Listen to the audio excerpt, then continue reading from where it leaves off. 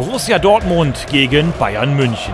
Der Supercup ging an Schwarz-Gelb, das Hinspiel an Rot. Jetzt das dritte Duell der Saison und im Kampf um die deutsche Meisterschaft das Wichtigste.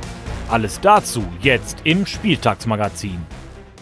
And for a top game, obviously, we need a top guest in our pre-match show today. Welcome, Erling Haaland.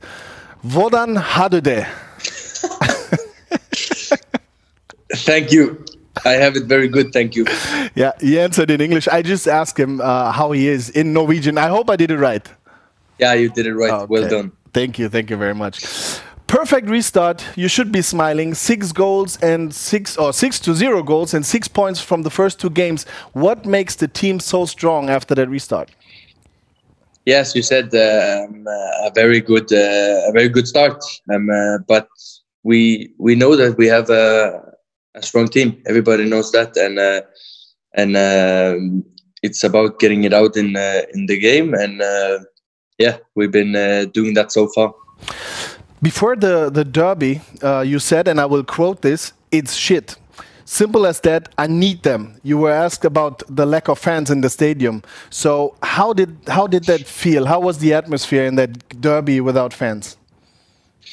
Of course, uh, I could wish that that I could celebrate in front of uh, in front of the wall, of course. Um, uh, but that's how the situation is now, and uh, we still have to be happy that we can uh, play football. And I know that uh, we have uh, we have good support from home, and yeah, that's also important.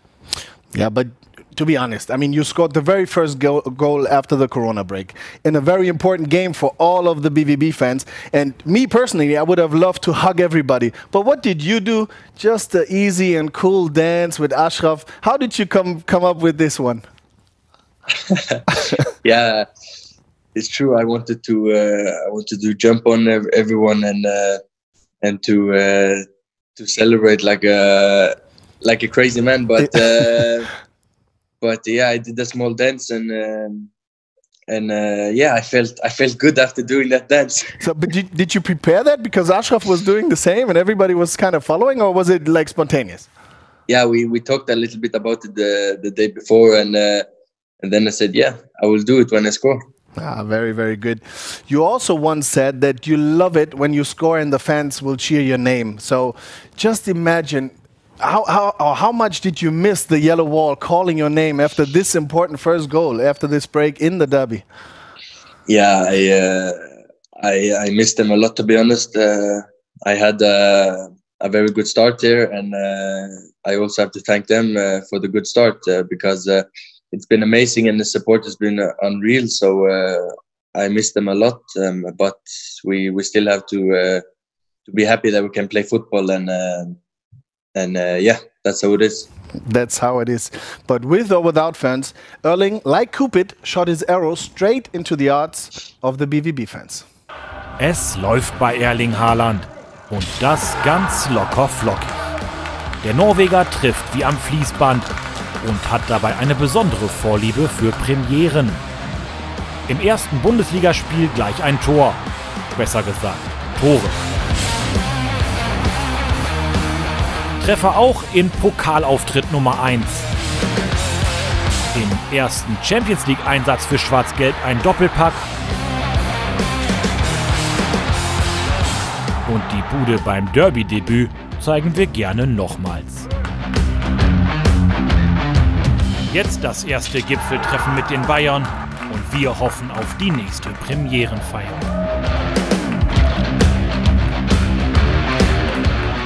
Yeah, so Erling, we just heard it. With every first premiere with the BVB, you, you've been scoring. Now your first Classico against Bayern, a very important game.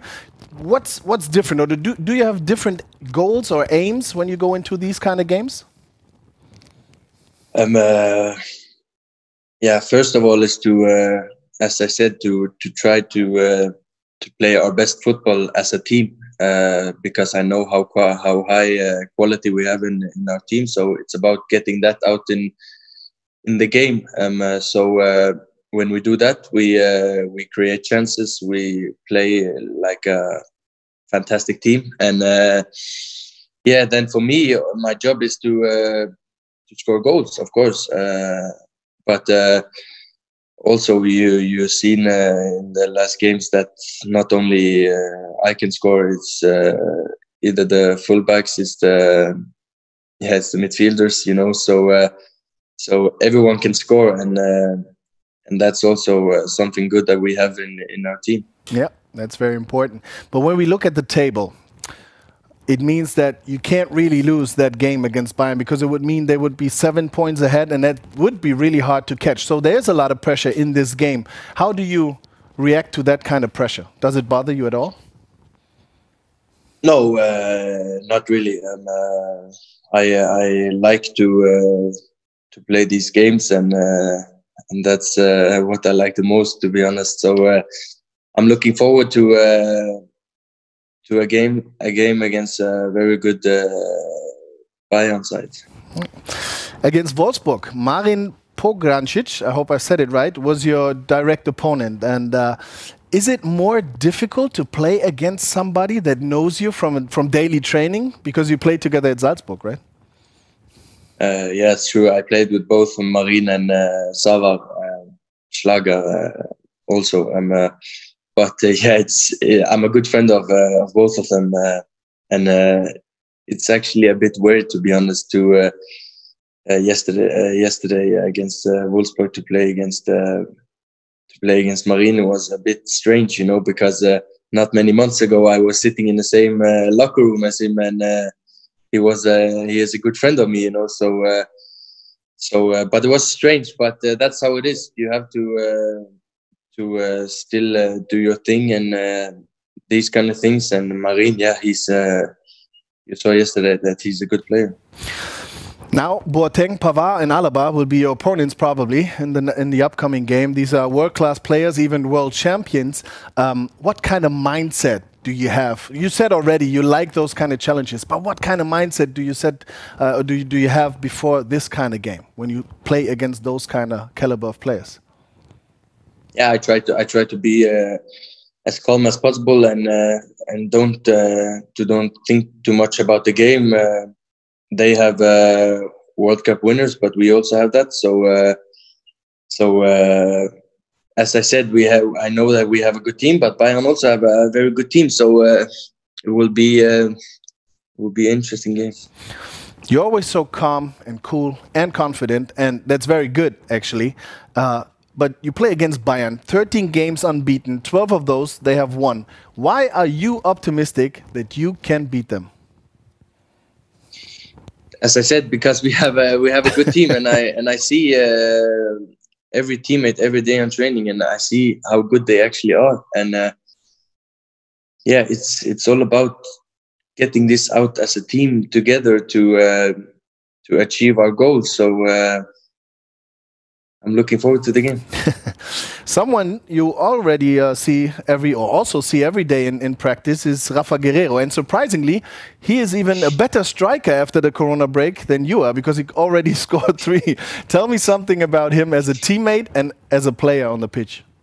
Yeah, Rafa is a, he's a he's a funny guy. He's a top guy. Uh, I always when I, am around him, I laugh and I and I joke and. Uh, he's a, he's a fantastic player. Uh, as you see, he, plays uh, wing back and uh, he scores goals for fun, you know. So so he is uh, he is a fantastic player, and yeah, he's one of the best in in the world in his position right now. Yeah, but he needs to work on his right foot when you look at that one goal he scored with the left one. But we also talked to Rafa before this important game against Bayern, and you can see the full clip on BVB TV. It's really worth to watch it. So check it out. But um, Erling, I want to put you to a test now. I want to challenge you. Obviously not on the pitch because I have a little lack of practice at the moment. So I'd rather do it uh, in here. And uh, we play a little game which is called You or Me. Three questions. Uh, number one, please. Erling is currently an international player for Norway. At the time, Patrick also played in a few internationals for Germany. Which of you two has currently made more appearances for their country? Ah. Uh, I don't know how many you have. I mean, uh, uh, uh, professional level, so A level or youth level? A level. A level. Okay. You ready? You, you, you Yep. Okay. Three, two, one. Me? How many do you have? Come on. Can we get the answer? So here's the answer. In total, Patrick appeared 11 times Yes. in the German national side. That's right. Erling will certainly pass his number of appearances one day, Of course. but currently he has played twice. Only twice? I thought you already, you know, have like 20 or something. I don't know. No, no, no, no. Ah. Many more to come. Yeah, yeah, I'm many still more. young. I mean, I'm you're still so young, you Yeah, know what I mean? You mean? gotta have like a hundred or something, or 150, something like that. Okay, hope so. a point for you. So, second question, please. One of the few players that you have both played with is Lukas Piszczek, who this week extended his contract with the club. Which of you has been on the pitch longer with Piszczek in terms of minutes? Oh, that's interesting. In terms of minutes, so we're at the 27 in Bundesliga, only Bundesliga, or In total. in total. Yeah. mm, Okay. You ready? Yep. Three, two, one. Oh yeah, that's probably correct. You both think Erling. I think so. Yes. Owo and Piszczek were team colleagues for two years Yeah. at BVB. But- in this time, they spent 222 minutes together on the pitch. Erling and Piszczek have only been playing together for half a year, but have already amassed 658 Yeah, minutes on the pitch together. Yeah. Now see that Point that was easy. That that was easy actually because he's he always he was my substitute or the other way around. So it's not Yeah. so many times we played together. Okay. Last last question. Last question. In the meantime, most people know that Erling made a rap video as a youngster. what is perhaps less well known is that Patrick also ventured into a singing career as a teenager. Together with the group Yum Yum, he released the single Planet Love in 1997. That's right. Erling's rap or Owo's Eurodance? Which video has had the most clicks on YouTube up to now? Yeah? You didn't know that. Yeah? You didn't see that coming. Okay. So um, you ready? You got an idea? I'm ready and I know it. You know it. Ah, Yes. Okay, maybe you checked it out. You know. Okay, three, two, one. Yeah, yeah. That's that must be true. That must be right, actually. The rap video from Erling and his friends has been viewed almost 3.9 million times.